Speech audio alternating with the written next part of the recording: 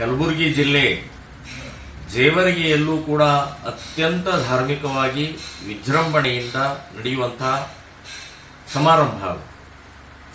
So ಇವತ್ತು ಇಪ್ಪತ್ತನೇ ತಾರೀಕು ಅಲ್ಲಿ ಆ ಸಮಾರಂಭದಲ್ಲಿ, ಗಣೇಶ ವಿಸರ್ಜನೆಯ ಸಮಾರಂಭದಲ್ಲಿ ನಾನು ಭಾಗವಹಿಸಬೇಕಾಗಿತ್ತು ಆದರೆ ಅಲ್ಲಿಯ ಜಿಲ್ಲಾಧಿಕಾರಿ ಇವತ್ತು ನನಗೆ ನಿರ್ಬಂಧನೆಯನ್ನು ಮಾಡಿದ್ದಾರೆ ಇದು ಯಾವ ಸ್ವಾತಂತ್ರ್ಯ ಇದು ಎಲ್ಲಿದೆ ನಮ್ಮ ಡಾಕ್ಟರ್ ಅಂಬೇಡ್ಕರ್ ಸಂವಿಧಾನ?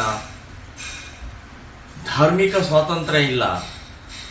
ದೇವರನ್ನ ದರ್ಶನ ಮಾಡುವಂಥದ್ದು ದೇವರ ಆರಾಧನೆಯಲ್ಲಿ ಭಾಗವಹಿಸುವಂಥದ್ದು ಸೊ ಗಣೇಶನ ಹಬ್ಬ ಬರೋದು ವರ್ಷಕ್ಕೆ ಒಂದೇ ಬಾರಿ.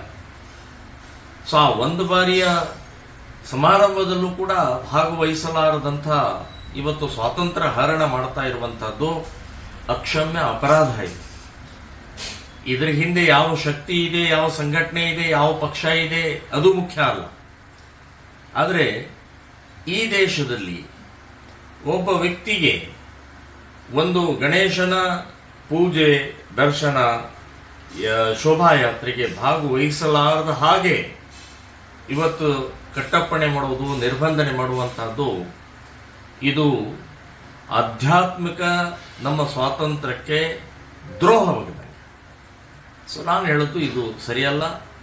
ಲಕ್ಷಾಂತರ ಜನ, ಸಾವಿರಾರು ಜನ ನಮ್ಮ ಕಾರ್ಯಕರ್ತರು ಕೂಡ ಇವತ್ತು ಮುತಾಲಿಕರು ಬರ್ತಾರೆ, ನಮ್ಮ ನಾಯಕರು ಬರ್ತಾರೆ. ಹಿಂದೂಗಳು ಒಬ್ಬ ಸುರಕ್ಷತೆ ಭಾವದಿಂದ ಹೋರಾಡುವಂಥ ನಾಯಕರು ಬರ್ತಾರೆ. ಸೊ ಅವರದ, ಅವರಿಗೆ ನೋಡಬೇಕು, ಅವ್ರ ಜೊತೆಗೆ ಇರಬೇಕು ಅನ್ನುವಂಥ ಭಾವನೆಯಿಂದ ಲಕ್ಷಾಂತರ ಜನ ಕಾರ್ಯಕರ್ತರಿಗೆ ಇವತ್ತಿನ ದಿನ ನಿರಾಶೆ ಮಾಡಿದ್ದಾರೆ. ಸೊ ಇವತ್ತಿನ ದಿನ ಅವರಿಗೆ ಮೋಸ ಮಾಡಿದ್ದಾರೆ. ಅನ್ಯಾಯ ಮಾಡಿದ್ದಾರೆ. ಸೊ ಈ ಹಿನ್ನೆಲೆಯಲ್ಲಿ ಯಾರು ಇದನ್ನು ನಿರ್ಬಂಧನೆ ಮಾಡಿದಂಥ ವ್ಯಕ್ತಿಗಳಿಗೆ ಧಿಕ್ಕಾರ ಹೇಳ್ತಾ ಇದ್ದೀನಿ. ಈ ರೀತಿಯ ಮಾನಸಿಕತೆ ಸರಿಯಲ್ಲ.